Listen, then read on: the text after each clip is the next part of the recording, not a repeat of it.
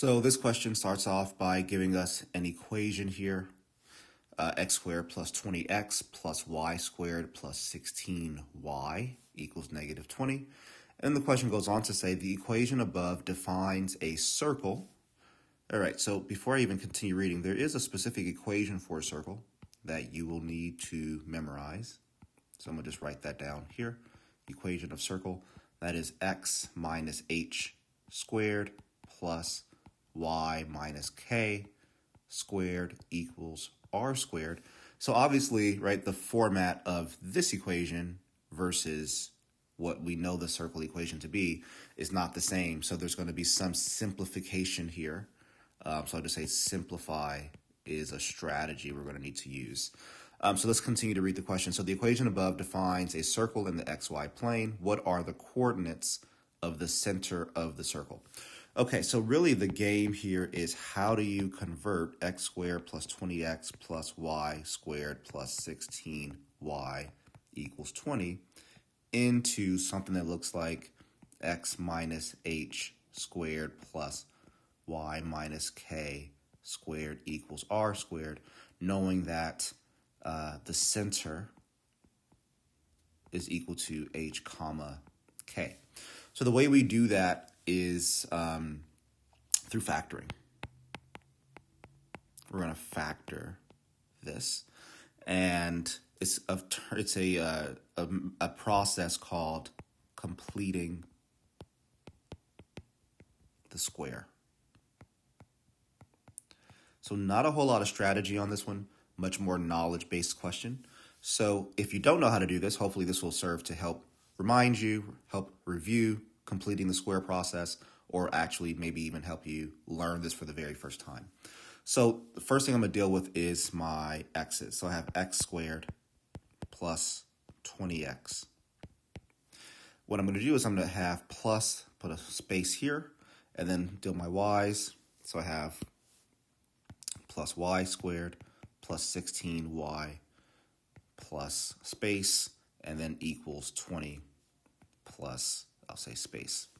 So completing the square just means I need to find what number can I add here that makes this x portion a complete square. So the way I do that is I take half of the middle term, so 20 divided by 2, which is equal to 10, and then I square that number.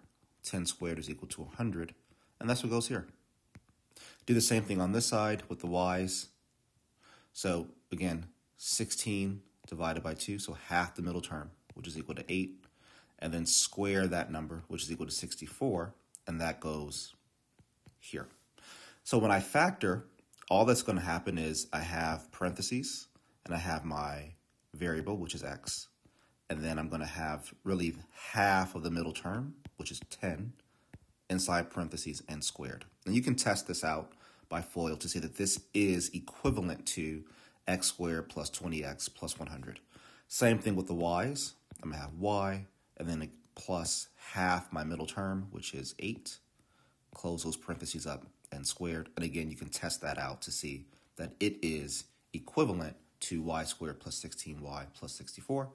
And then I have my equals 20. Now the space here is because technically I've just added two numbers, two quantities, to the left-hand side that were not originally there. So I have to balance those out by adding the same quantity to the right side, which is 164, right?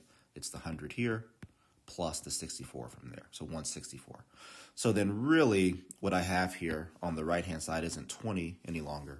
It's actually 164.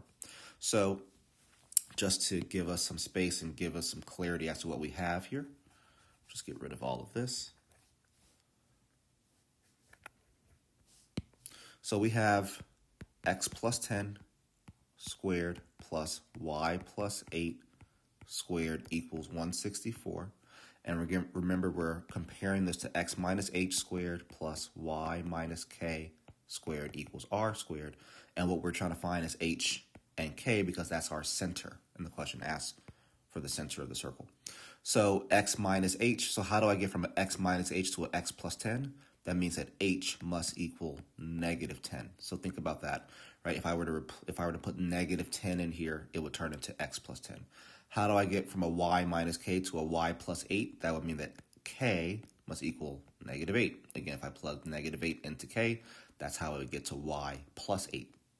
So my center